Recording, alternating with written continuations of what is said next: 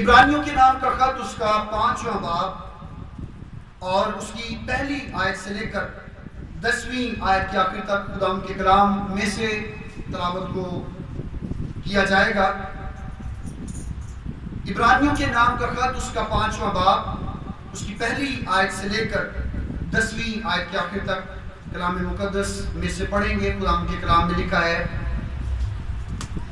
کیونکہ ہر سردار کاہن آدمیوں میں سے منتخب ہو کر آدمیوں ہی کے لیے ان باتوں کے واسطے مقرر کیا جاتا ہے جو خدا سے علاقہ رکھتی ہیں، تاکہ نظریں اور گناہوں کی قربانیاں گزرانے اور وہ نادانوں اور گمراہوں سے نرمی کے ساتھ پیش آنے کے قابل ہوتا ہے۔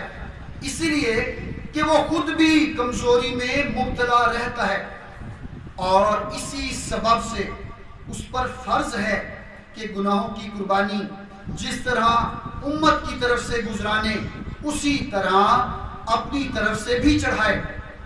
اور کوئی شخص اپنے آپ کو یہ عزت اختیار نہیں کرتا، جب تک ہارون کی طرف سے، خدا کی طرف سے بلایا نہ جائے۔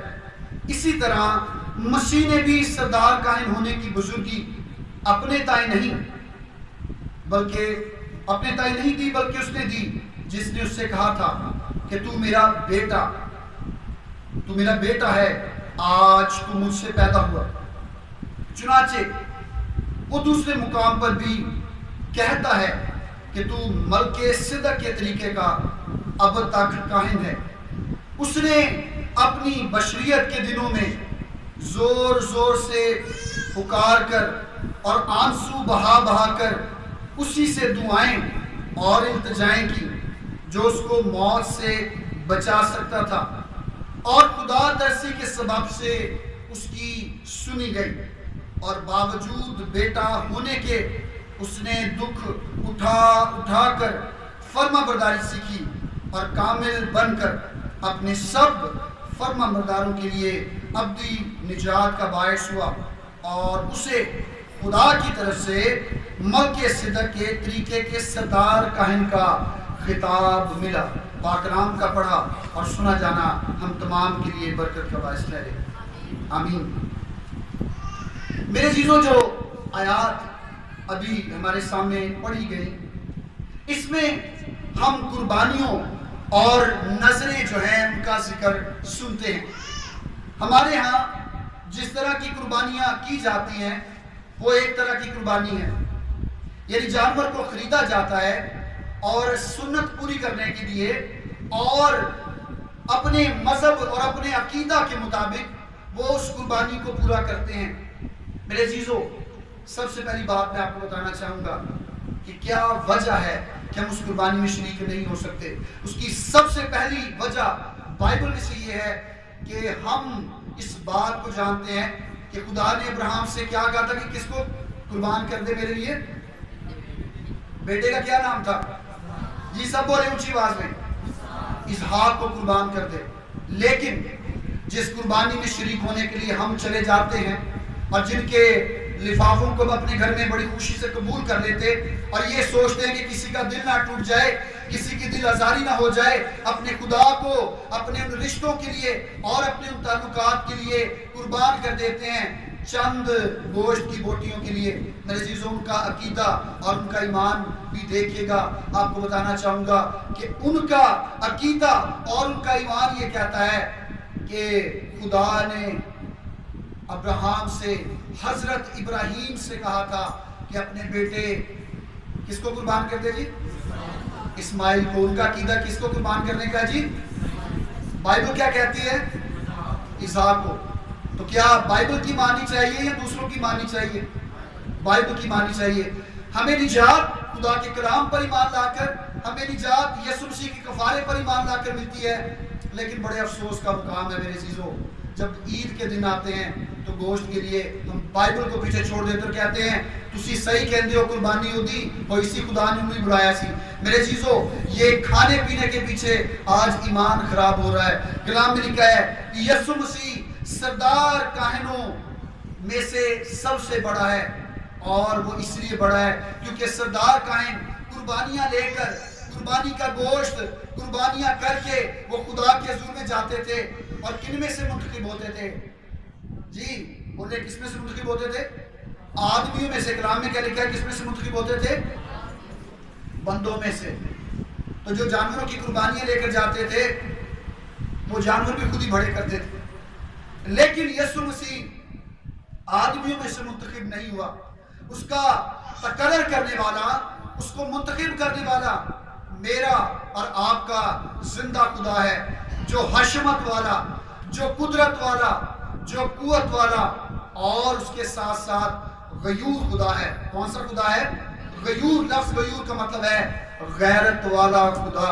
اس کا مطلب یہ ہے کہ جب ہم اس غیور خدا کو چھوڑ کر، اس کی غیرت کو للکار کر دوسری قربانیوں میں شریک ہوتے ہیں یا شریک ہونے کی کوشش کرتے ہیں، تو ہم اس کی غیرت کو للکارتے ہیں۔ کیونکہ اس نے تو قربانی کا کام آج سے دو ہزار سال پہلے ہی پورا کر دیا تھا، لیکن ہم چند گوشت کی تھیلیوں کی خاطر اپنے دل کو زبان کے ذائقے کی خاطر زندہ خدا کو چھوڑ کر ان قربانیوں میں شریک ہوتے ہیں۔ کلام مقدس میں لکھا ہے کہ سردار کہن آدمیوں میں سے منتخب ہو کر آدمیوں ہی کے لیے ان باتوں کے بعد سے مقرر کیا جاتا تھا جو خدا سے علاقہ رکھتی تھی، تاکہ نظریں اور گناہوں کی قربانیاں گزرانے، آج بکروں کو ذبح کرنے والے اور سارے کا سارا گوشت رشتہ داروں میں بانٹ دینے والے انسان ہیں۔ لیکن وہ جس نے اپنا بیٹا پاک، بے عیب، ایک برے کے طور پر پیش کیا، وہ میرا اور آپ کا نجات دہندہ مسیح یسو ہے۔ اور اس کی قربانی میں یہ سائر نبی اپنے ترپن میں باپ بھی یہ تحریر کرتا ہے کہ جس طرح بھیڑ اپنے بال تترنے والوں کے سامنے خاموش رہتی ہے، وہ بھی خاموش رہا۔ اور اس زمانہ کے برے لوگ اس پر الزام لگاتے رہے۔ آج میرے جیزوں قربانیوں میں شریک ہو رہے ہیں، جس کا نہ ہم سے، نہ ہمارے مسیح سے، نہ کلام سے کوئی حصہ ہے۔ اور ہم یہ بہت سارے لوگ میں آج دیکھتا ہوں۔ اس میں بہت سارے خدا کے قادر بھی ہیں۔ وہ کہتے ہیں جی کھا لینا چاہیے۔ بائبل سے منع نہیں کیتا گیا۔ بائبل میں منع کیا گیا ہے اور کہا گیا ہے کرنچی خط میں لکھا ہے کہ جو کچھ کسابوں کی دکان پر بکتا ہے اس اسے لے کر بلا امتیاز کھاؤ۔ کسائیاں کو جڑا بھی لینا ہے، ادھر کوئی فکر کرنے کی لوڑ نہیں۔ کیونکہ وہ قربانیاں نہیں کرتے، وہ کسی سنت کو پورا نہیں کر رہے، وہ اپنی کسی رسم کو پورا نہیں کر رہے۔ لیکن جب آپ کو کہا جائے، کلام لکھا ہے کرنچی خط میں کہ اگر تو کسی ایسی جگہ پر بیٹھا ہے جہاں پر تجھے بچایا جاتا ہے کہ یہ قربانی ہے اور نوالا تیرے منہ تک آ گیا ہے، تو اپنے ہاتھ کو روگ لے۔ تم خدا اور شیاطین کی قربانی میں شریک نہیں ہو سکتے۔ بہت سارے لوگ کہتے ہیں کہ جی یہ فلانے کی قربانی ہے۔ اور میرے عزیزو، جب خداوند یسوسی نے کر دیا، اب جتنی بھی قربانیاں کوئی آ کر کہے جی کہ میں اپنے بیٹے کو خدا کی راہ میں قربان کر دوں گا، کوئی کہا نہیں خدا جی قربان کرنا نہیں۔ خدا قربانیوں کا ذکر نہیں کرتا۔ جب یسو نے قربانی دے دی تو اس کے بعد کوئی قربانی نہیں۔ اب ہم تھوڑی دیر کے اس بات پر غور کریں گے کہ یسو مسیح ایک بہترین سردار کائن ہے۔ جب ہم احبار کی کتاب کو پڑھتے ہیں، غور سے سنیے گا، خاص طور نہ ہو جنہیں گوشت کھاتے جب ہم یسو مسیح پر غور کرتے ہیں تو یسو مسیح کو ہیڈ آف دی بیسٹ کہا جاتا ہے۔ سردار کائن سے بھی بالا تر جو ہے وہ کہا گیا ہے، کیونکہ وہ آسمان سے مقرر ہوا۔ دنیا میں جتنے بھی سردار کہن آئے یسوسی کے دور میں یسوسی سے پہلے جو پاک ترین مقام میں جا کر گناہوں کی معافی کے لیے خدا سے درخواست کیا کرتے تھے، وہ آدمیوں میں سے منتخب ہوتے تھے۔ لیکن یسو آسمان پر سے منتخب ہو کر آیا۔ اور کلام مقدس میں لکھا ہے کہ وہ نادانوں اور گمراہوں سے نرمی کے ساتھ پیش آنے کے قابل ہوتا ہے اس لیے کہ وہ خود بھی گمراہی میں مبتلا رہتا تھا۔ اب کیا ہوتا تھا کہ جو سردار کائن دنیاوی تھے، جیسے زکریہ یونا بپتسمہ دینے والے کا باپ، وہ بھی ایک سردار کائن تھا۔ وہ کیا کرتے تھے کہ جو بیچارہ کمزور ہوتا، جس سے چھوٹی سی غلطی ہو جاتی، سردار کائن اس کو معاف کر دیتا، کہتا، کوئی بات نہیں، میں بھی انسان ہاں میرے کو بھی غلطی ہو جاتی ہے۔ میرے چیزوں کرام نے کہ وہ نادانوں اور گمراہوں کے ساتھ نرمی سے پیش آتا تھا۔ لیکن ہمارا خدا، جو لوگ گمراہی کا شکار ہیں، وہ لوگ جو آج نادانی کی حرکتیں کرتے پھرتے ہیں، تالی پر تالی، ہاتھ پر ہاتھ مار کے کہتے ہیں، کوشش نہیں کوئی گل نہیں ایسی دکھائی لیا سے۔ میں عزیز و کلام لکھا ہے، خدا ان سے نادانی سے پیش نہیں آئے گا۔ وہ سردار کائن جو اس دور میں تھے، وہ نادانوں سے، وہ گمراہوں سے اس لیے نرمی سے پیش آتے تھے کیونکہ وہ کہتے تھے، ہم بھی انسان ہیں، ہمارا بھی دل ہے، ہم سے بھی غلطی ہو جاتی، کوئی بات نہیں، اس کو معاف کر دو۔ لیکن ہمارا خدا جب ہم کلام کو پڑھ لیتے ہیں، جب کلام کو سن لیتے ہیں اور اس کے بعد ہم پھر غلط حرکتیں کرتے ہیں، تو کلام لکھا کہ خدا ایسوں کے ساتھ، نادانی کے ساتھ پیش نہیں آتا۔ اسی باپ کی گیارہویں آیت میں لکھا ہے، اس کے بارے میں ہمیں بہت سی باتیں کہنا ہے، جن کا سمجھانا مشکل ہے۔ اس لیے کہ تم اونچا سننے لگے ہو۔ اس لیے کہ کیا ہو گیا؟ تم کیا سننے لگے ہو؟ اونچا سننے لگے ہو۔ سکھا سکھا کے مر گئے۔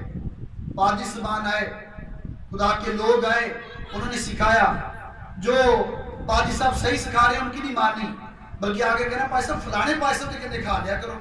میرے چیزوں کیوں ایسا ہے؟ کیونکہ کلام میں لکھا ہے کہ تم اونچا سننے لگے اور لکھا ہے، وقت کے خیال سے تو تمہیں استاد ہونا چاہیے تھا۔ وقت کے خیال سے ہونا چاہیے تھا؟ استاد ہونا چاہیے تھا۔ مگر اب اس بات کی حاجت ہے کہ کوئی شخص خدا کے کلام کے ابتدائی اصول تمہیں پھر سکھائے اور سخت غذا کی جگہ تمہیں دودھ پینے کی حاجت پڑ گئی ہے۔ آگے جب ہم پڑھیں گے جب اس کا چھٹا باپ کلام میں لکھا ہے، خدا کا بندہ جو ابراہیم کو خط لکھتا ہے، وہ کہتا ہے، بس کر دو۔ بپتس میں سکھانے ابتدائی باتیں سکھانی، وہ کہتا بس کر دو۔ لیکن آج بھی کلیسیا کا یہی حال ہے۔ آج پھر انہیں دوبارہ سے وہی باتیں بتانی پڑتی ہیں۔ میرے چیزوں یا تو یسو کی قربانی میں شریک ہو جائیں، یا غیر قوموں کی قربانی میں شریک ہو جائیں۔ کلام میں لکھا ہے، جو گمراہ ہو جاتا ہے، جو برگشتہ ہو جاتا ہے، جو یسو کو چھوڑ جاتا ہے۔ چھٹے باب میں لکھا ہے کہ اس کو توبہ کے لیے نیا بنانا ناممکن ہے۔ اس کو توبہ کے لیے نیا بنانا کیا ہے جی؟ ناممکن ہے۔ کاہن اس لیے بخش دیتا تھا۔ اس دور میں اس لیے تھوڑی سی اجازت تھی کیونکہ کاہن بھی ایک انسان تھا۔ لکھا ہے اسی سبب سے اس پر فرض ہے کہ گناہوں کی قربانی جس طرح امت کی طرف سے گزارے، اسی طرح اپنی طرف سے بھی چڑھائے۔ کاہن جب پارترین مقام میں خدا سے بات کرنے جاتا اس سے پہلے بھی بتا چکا ہوں کہ اس کے کمر کے گرد پنجابی سے کہتے ہیں لک پیٹ اور کمر کے گرد ایک رسی باندھی جاتی۔ اور رسی اس لیے باندھی جاتی کہ اگر کہن کے دل میں کوئی غلط بات ہوتی اور وہ قربانی گزرانے کے لیے اس بڑے موٹے پردے کے پیچھے جاتا، جہاں پر عید کا صندوق پڑا ہوتا اور جہاں پر خدا کا جلال ظاہر ہوتا تھا، اگر اس کہن میں بھی کچھ غلط ہوتا تو وہ وہیں پر مر جایا کرتا تھا اور کسی کو اجازت نہیں تھی کہ وہ اس پاک ترین مقام میں جا کر اس کی لاش کو اٹھا لے۔ تو اس کی کمر کے ساتھ ایک رسی باندھی جاتی اور رسی کے ساتھ گھنٹیاں باندھی جاتی تاکہ جب وہ خدا کے سامنے جا کر بخور جلائے، خدا کی زوری میں خدا سے بات کرے تو گھنٹیاں بجتی رہتی۔ تو اس کا مطلب یہ تھا کہ ابھی یہ شخص زندہ ہے، ابھی اس کو کچھ نہیں ہوا۔ اگر گھنٹیوں کی آواز آنا بند ہو جاتی تو لوگ سمجھ جاتے کہ اس نے کوئی گناہ کیا ہے، خدا کو اس کی یہ بات پسند نہیں آئی۔ تو وہ رسی جو اس کی کمر سے باندھ کر اس پردے سے باہر لوگوں تک، کائنوں تک ہوتی تھی، جب گھنٹیوں کی آواز آنا بند ہوتی، تو وہ اس رسی کے ساتھ اس کی لاش کو باہر کھینچ لیا کرتے تھے۔ اور یہ میری بات نہیں احبار کی کتاب کو پڑھ کر دیکھیں، جو کائنوں کی شریعت ہے جو کائنوں کی شریعت اور کائنوں کی احکامات ہے اس میں لکھا ہے، خدا نے حکم دیا تھا کہ ایسا کرنا تاکہ خدا کے مذبح کی عزت اور اس کا تقدس برقرار رہے۔ لیکن یسو نے ہمارے لیے کیا کیا؟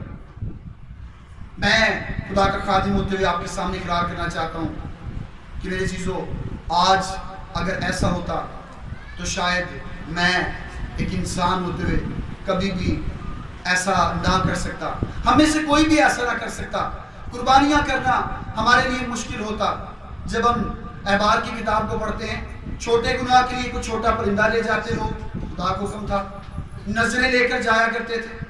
آج اگر ہم خدا کے گھر میں بیٹھ کر ہدیہ نہ بھی ڈال کر جائیں، ہمارے حالات، واقعات اجازت نہیں دیتے کہ ہمارے پاس روپیہ، پیسہ نہیں۔ خدا پھر بھی ہمیں برکت دیتا ہے۔ لیکن پرانے وقتوں میں ایسا نہیں تھا۔ وہ بڑھیا جس کے بارے میں آپ جانتے ہیں، جو ایک دیوا تھی کتنی دمڑیاں ڈالی تھی جی اس نے۔ دو دمڑیاں ڈالی۔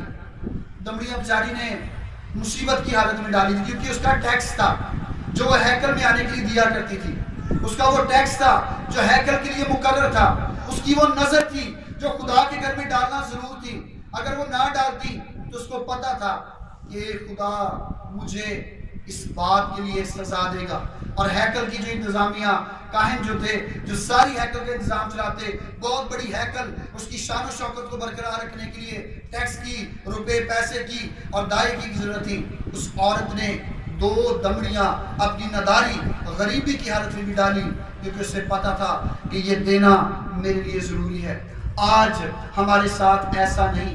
نہ خدا بکروں کا خون مانگتا ہے نہ وہ بلوں، نہ وہ بچڑوں کا خون مانگتا ہے، نہ وہ ہم پر کوئی بات لاگو کرتا ہے۔ لیکن ہم کیسے لوگ ہیں؟ ہم پھر بھی چاہتے ہیں کہ ہم ان کاموں کو کریں۔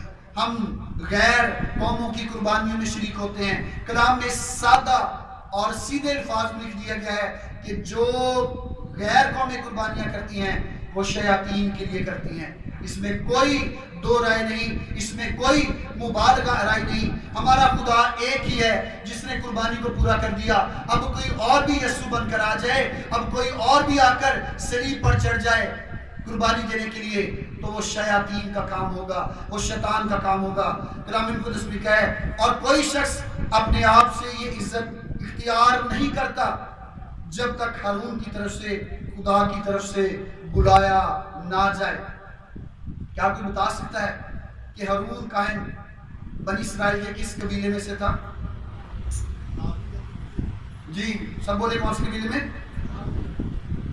لاوی کے قبیلے میں سے تھا۔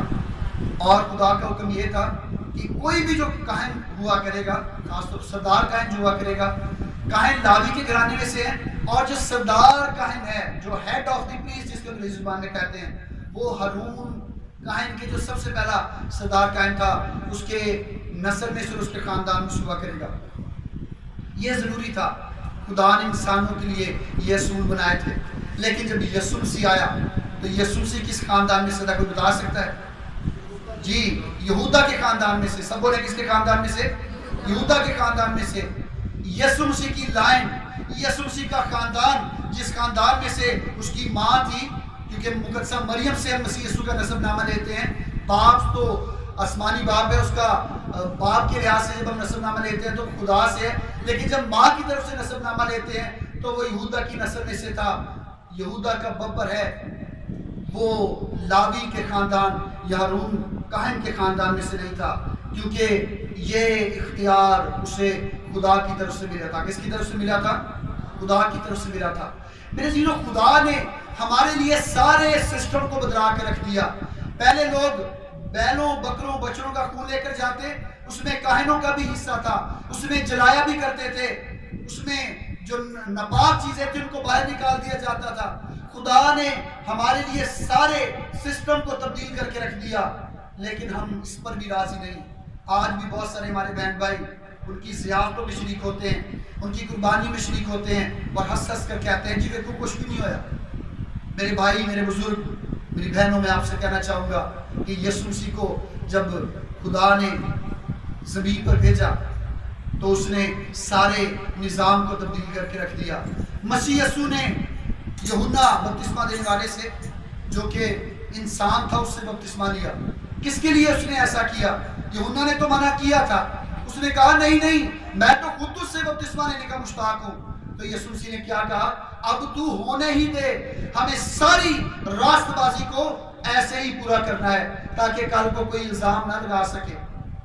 کہ یسوع نے خود تو بپتسمہ لیا ہی نہیں۔ تھا یسوع مسیح نے کون سا سلیب پر جان دی تھی؟ سب کچھ یسوع مسیح نے کیا۔ اور کلام مقدس میں کہا ہے، اسی طرح مسیح نے بھی صدار قائم ہونے کی، بزرگی، اپنے تائیں نہیں، بلکہ اسی نے دی جس نے اس سے کہا تھا کہ تو میرا بیٹا ہے، آج تو مجھ سے پیدا ہوا۔ سردار کائن اپنے کان کی لو پر، جہاں سے خدا کی آواز اس کے کانوں میں آنی تھی، اس جگہ پر وہ برے کا خون بچڑے کا خون لگایا کرتے تھے۔ اپنے ہاتھوں کے انگوٹھوں پر بھی انگوٹھا طاقت کو ظاہر کرتا ہے۔ وہ اپنے ہاتھوں کی اس طاقت والی جگہ پر بھی خون، برے کا خون لے کر جاتے۔ وہ اپنے پاؤں کے انگوٹھے پر بھی برے کا خون لے کر جاتے۔ اس کا لباس پاکیزگی کی علامت ہوا کرتا تھا۔ لیکن یسو مسیح بیلوں بکروں اور بچڑوں کا خون لے کر نہیں، بلکہ کس کا خون لے کر گیا؟ باپ کے سامنے۔ جی سب بولے کس کا خون لے کر گیا؟ پیچھے پیچھے سے آواز نہیں آ رہی۔ کس کا خون لے کر گیا؟ اپنا خون لے کر گیا۔ تو پھر ہم کیوں ان قربانیوں کے پیچھے بھاگتے ہیں؟ جو خدا کے کلام سے اور خدا سے تعلق اور علاقہ نہیں رکھتی۔ اس کی وجہ کیا ہے؟ خدا ان کا بندہ ابراہیم خط میں بیان کرتا ہے کہ اب کوئی استاد ہونا چاہیے۔ یہ بعد میں لکھا ہے، کوئی شخص خدا کے کلام کے ابتدائی اصول تمہیں پھر سکھائے اور سخت غذا کی جگہ تمہیں دودھ پینے کی حاجت پڑ گئی ہے۔ میرے خیال سے ہم اپنے اوپر یہ بات لے کر کہتے جی میرا ابا بھی کرسچن تھا، مسیح تھا، میرا دادا بھی مسیح تھا۔ لیکن خدا کے کلام کی ابتدائی باتیں، یہ جو بالکل شروع میں جو نیا نیا مسیح ہو نا، اس کو بتاتے ہیں، کوئی مسلمان سے مسیح اس کو بتاتے ہیں کہ بھائی تیرے بھی قربانی ہوگی ہوں تو قربانی نہیں کرنی۔ وہ کہتے جی ٹھیک ہے، میں سمجھ گیا۔ لیکن اب کلیسیا کو اس بات کی حاجت دوبارہ سے محسوس ہو رہی ہے کہ وہ اس میں شریک ہوں۔ وہ شریک ہونا شروع ہوتے ہیں۔ اور پھر دوسروں کو بھی اس پر لگاتے ہیں۔ اور میں نے بہت سارے بہن بھائیوں کو دیکھا کہ وہ خود اس میں شریک نہیں ہوتے۔ جب کوئی تھیلی آتی ہے پکڑ کر اپنے گھر پر رکھ لیتے ہیں۔ خود نہیں کھاتے جو دوسرا مسیح کھاتا ہے اس کے گھر میں بھیج دیتے ہیں۔ میرے عزیزو کلام میں لکھا ہے کہ تمہیں دودھ پینے کی حاجت پڑ گئی ہے۔ دودھ کون پیتا ہے؟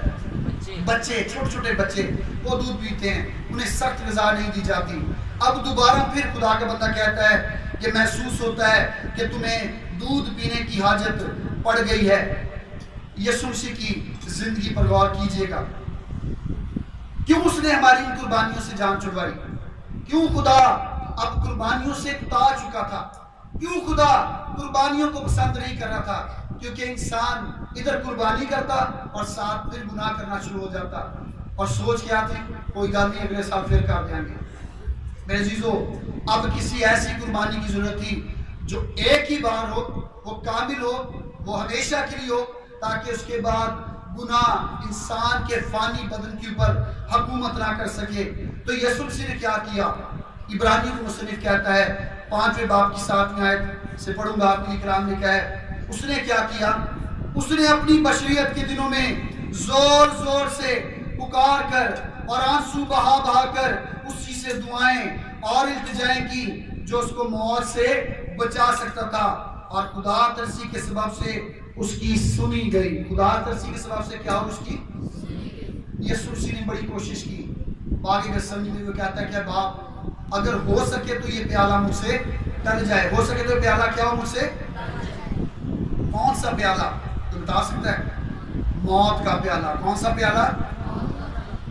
گرام میں لکھا ہے۔ جب یہونا بپتسمہ دینے والے نے، یسوع کو بپتسمہ دینے کے بعد پھر دوسری طرف، دن اپنی طرف آتے دیکھا۔ اس نے یسوع کو دیکھ کر دور سے دیکھ کر کہا، دیکھو خدا کا برہ جو جہان کا گناہ اٹھا لیے جاتا ہے۔ جو جہان کا گناہ کیا کرتا ہے؟ اٹھا لیے جاتا ہے۔ یہودی دو طرح کی قربانی کرتے تھے۔ ایک قربانی سردار کہن قوم کے کفارہ کے لیے کرتا تھا اور اس کا خون بہایا جاتا، اس برے بچڑے کا، اور اس کا خون کہن سردار کہن جو ہے، جو برا یا بکرا وہ کیا کرتا تھا برا جیسے ہم بیل جو ہے اس کو کہتے ہیں، وہ قربان کیا جاتا تھا۔ اور اس کا خون جو ہے، جب اسے ذبح کیا جاتا، تو اس کو وہ اپنے کان پر لگا لیتا اور اس کی، اس کا جو گوشت ہے، اس کو کھایا نہیں جاتا تھا۔ وہ آتا بات ہے۔ اور اس کو کھایا نہیں جاتا تھا، وہ ساری کی ساری قربانی جو ہے، وہ جلا دی جاتی تھی تاکہ اس کی خوشبو جو ہے، وہ خدا کے حضور میں پہنچے۔ میں ایک ضرور بھی گاتے ہیں۔ وہ سوختنی قربانی رفا، تیرے اگے ڈوئی، اس میں ہم بڑی خوبصورت آج گاتے ہیں کہ سوختی قربانی لے کے تیرے اگے آواں۔ دل نظرانے تیرے اگے گزرانا ہے۔ بڑی خوبصورت آیت ہے۔ اور میرے چیزوں، جب ہم پرانے ادب میں دیکھتے ہیں تو یہ ایک قربانی کا حصہ ہے۔ یہاں پر سردار کا ہے، قوم کے لیے قربانی کرتا اور اس کا سارا گوشت جلا دیا کرتا تھا تاکہ وہ خدا کے حضور میں چلا جائے، اس میں کھایا نہیں جاتا تھا۔ آج کیا ہے؟ آج جس گوشت میں ہم شریک ہیں، وہ کہتے ہیں جی ہم سنت پوری کر رہے ہیں، بہت ساری باتیں سنت پوری کر رہے ہیں، گناہوں کی معافی کے لیے بہت سارے لوگ کہتے ہیں جی قربانی نہیں کرتے، وہ تو سنت پوری کر رہے ہیں۔ لیکن بہت سارے جو فرقے ہیں مذہب میں، اس مذہب میں جن کی قربانی میں ہم شریک ہوتے ہیں، وہ کہتے ہیں جی ہمارے گناہوں کے لیے قربانی ہم کر رہے ہیں۔ سال بعد سنت کو پورا کر رہے ہیں۔ اور پھر کیا ہوتا ہے کہ پھر انہی گناہوں میں ہم شریک ہو جاتے ہیں۔ دوسری طرح کی قربانی جو مسیح یسو کی ذات میں ہمیں نظر آتی ہے، جس کے لیے یونا نے کہا کہ دیکھو خدا کا برہ جو جہان کے گناہ کیا کیا جاتا ہے، اٹھا لیا جاتا ہے، وہ قربانی بھی قوم بنی اسرائیل کیا کرتی تھی۔ اور وہ قربانی کیا تھی کہ ہر خاندان، جو بڑے خاندان تھے گرانے جو تھے، جیسے ہم بارہ قبائل دیکھتے ہیں، ہر قبیلہ جو ہے وہ ایک بکرا لیا کرتا تھا۔ اور اس بکرے کے اوپر وہ ہاتھ رکھ کر اپنے گناہ اس پر لاد دیتے اور اس کو بیابان میں چھوڑ دیتے، کھلی جگہ پر چھوڑ دیتے اور کہتے کہ یہ قربانی عزازیل کے لیے ہے۔ عزازیل وہ فرشتہ ہے جس کو خدا نے مقرر کیا کہ وہ روح کو قابض کرنے والا، روح کو لینے والا فرشتہ ہے۔ اور گناہ گار جب اس ایمان کے مطابق جو قرآن میں بات لکھی ہے جو وہ قربانی کرتے تو کہتے کہ ہم اس فرشتے کے لیے قربانی کر رہے ہیں جو ہمارا ہماری روح لینے کے لیے آ رہا ہے، تاکہ ہماری روح جو ہے، جب وہ لینے کے لیے آئے تو وہ ہماری اس قربانی کو دیکھ کر اسی جگہ پر رک جائے۔ اور ایمان کیا تھا کہ جب ہم اس بکرے پر اپنے گناہ لا دیتے ہیں اور اسے بیابان میں، ویرانے میں چھوڑ آتے ہیں، تو جتنا وہ بکرا، وہ بچڑا ہم سے دور جاتا ہے، اتنے ہی ہمارے گناہ ہم سے کیا ہوتے ہیں جی؟ دور جو جاتے ہیں، کیا ہوتے ہیں ہمارے گناہ ہم سے؟ دور ہو جاتے ہیں۔ بڑی خوبصورت آیت بھی گاتے ہیں کہ دن جنہ چڑھ دے تو ہے لیندہ انہی دور ساجے پاپ خدا نے چک کے سارے سٹے دور دوارے۔ میرے جی تو یہ دو قربانیاں جس کے بارے میں میں جانتا ہوں، خدا کا خادم ہوتے ہوئے، جو اہم قربانیاں تھیں۔ ایک جو سردار قائم قوم کے لیے کرتا، دوسری قربانی عزازیل کے لیے کی جاتی، اس میں جانور کو ذبح نہیں کیا جاتا تھا، بلکہ ویرانے میں چھوڑ دیا جاتا تھا۔ آج ذرا کسی سے پوچھئے گا جن کی قربانیوں میں آپ شریک ہوتے ہیں کہ آپ کی ان دونوں میں سے کون سی ہے؟ اگر وہ آپ کو ثابت کر دیں کہ یہ قربانی بائبل کے مطابق ہے، تو خوشی سے اس میں شریک ہوئیے گا۔ لیکن اگر وہ کہیں کہ اسماعیل کی ہے، قربانی فلانے کی ہے، جس کا تعلق ہم سے نہیں ہے، تو میرے عزیزو، کبھی بھی اس میں شریک نہ ہوں۔ کلام مقدس میں لکھا ہے، کیونکہ دودھ پیتے ہوئے کو راست بازی کے کلام کا تجربہ نہیں ہوتا، اس لیے کہ وہ بچہ ہے۔ اس لیے کہ وہ کیا ہے؟ بچہ ہے۔ ہم میں سے جتنے بھی صاحب علم اور صاحب تمیز بیٹھے ہیں، وہ بچے نہیں، بلکہ وہ بڑے ہیں۔ اپنی زندگی میں، اپنی زندگی پر غور کریں، اپنی زندگی کی ان غلطیوں اور کوتاہیوں پر غور کریں۔ اگر پہلے کبھی ایسا کرتے رہے تو کوئی ایسی بات نہیں۔ لیکن آج اگر آپ اس کلام کو سننے کے بعد اپنے آپ کو تبدیل نہیں کرتے اور دوبارہ پھر اسی طرف لوٹ جاتے تو کلام نے ایسے لوگوں کے لیے لکھا ہے کہ جو نہلائی ہوئی سورنی ہے وہ کہاں کو لوٹتی ہے جی؟ دلدل کی طرف، گارے کی طرف لوٹتی ہے اور لکھا کہ کتا اپنی کہہ کو دوبارہ کھا لیتا ہے۔ جو شخص خدا کے کلام کو سیکھ کر، اس کی بخشش کا مزہ چکھ کر، روح قدس کی باتوں کو جان کر، کلام کو جان کر دوبارہ پھر جاتا ہے تو کلام لکھا ہے، ایسے شخص کو توبہ